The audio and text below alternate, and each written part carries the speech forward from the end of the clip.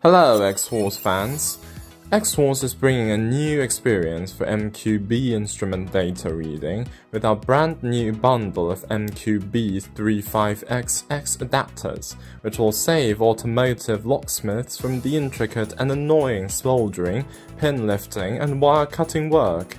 When reading VW MQB instrument IMO data, particularly BGA D70F3532, 35, 36, 37, locksmiths may suffer from the complex operation and high-risk damage. The adapters are especially designed to provide an easier and safer solution. In today's video, I'll walk you through how to read D70F3537 data with the new adapter and Key Tool Plus. Without further ado, let's hop on into this video. On the main screen, tap on IMMO Programming. Scroll down to VW, select by type and select MQB Instrument IMMO System. Enter the MQB48 NEC35XX lock and tap on Start Programming. Please read the disclaimer on the screen carefully and then tap on OK. Make sure Key Tool Plus has connected to the network. Then we are going to select Programmer Reads Files. Read NEC35XX chip and we are tap on Adapter Method. Select D70F3537. Take a careful look at the connection diagram and operate following the diagram. Locate the positioning points and we're going to connect the adapter to the board with reference to the points. Connect and apply the clips.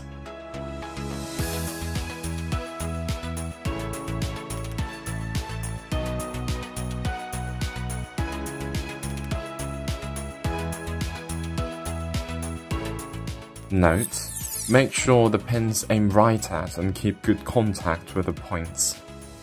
Otherwise, the following errors may occur. Crystal oscillator frequency configuration failed.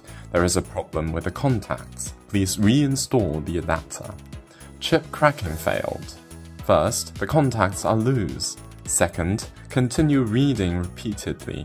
Now we're gonna connect the adapter to Key Tool Plus with a DB15 cable.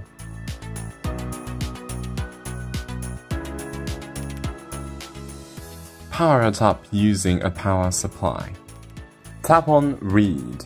Make sure the adapter and the chip are well connected and press Continue to start the operation. Tap on Show Lock to unfold the details, and tap on Close to fold the locks.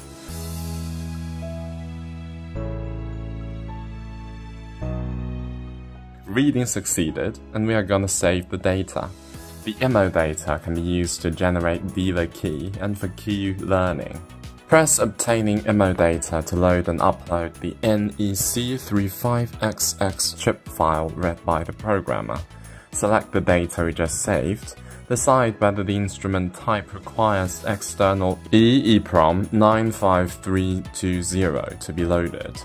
This instrument requires no reading and loading EEPROM 95320, so we tap on No to start the calculation. It's gonna take 5 to 10 minutes to complete the calculation. Thank you for watching and we are gonna showcase how to read D70F3524 with our newly released adapter in the next video. If you have further questions, please let us know in the comment section and I'll see you in the next one.